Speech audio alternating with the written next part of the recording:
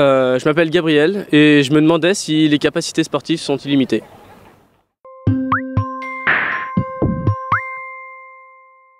Non, euh, les capacités sportives euh, sont, sont, limitées et notamment la performance sportive, l'homme a des limites biomécaniques, physiologiques qui vont conditionner un peu les performances qu'il est capable de, produire.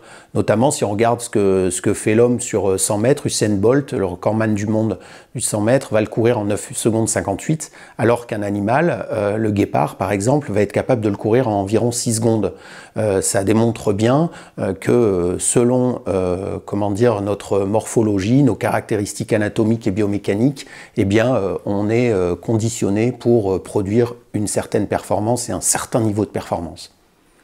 Pour autant, les records euh, peuvent être encore euh, battus, et euh, notamment parce que la recherche évolue, les connaissances scientifiques évoluent, des, connaissances nouvelles permettent en fait de servir les pratiques des, entraîneurs, de les faire évoluer au service de la performance des athlètes. Ici, par exemple, dans ce laboratoire motricité interaction performance, on développe des travaux qui visent à analyser la performance sportive pour qu'elle soit optimisée et ces, connaissances nouvelles euh, eh euh, participent à l'évolution euh, des, pratiques sportives, mais aussi des performances et donc des records.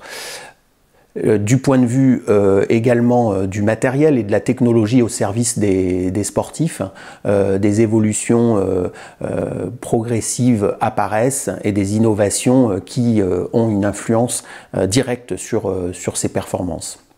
Donc oui, les capacités physiques ont, des limites, mais euh, pour autant, les records euh, peuvent encore évoluer, largement évoluer. Notamment euh, si on intègre euh, dans cette discussion euh, et ce débat en fait les conditions de la pratique et la réglementation des pratiques sportives. si cette réglementation un jour accepte des modifications biologiques et biomécaniques du corps humain, alors les records ont encore de, de, très beaux jours devant eux.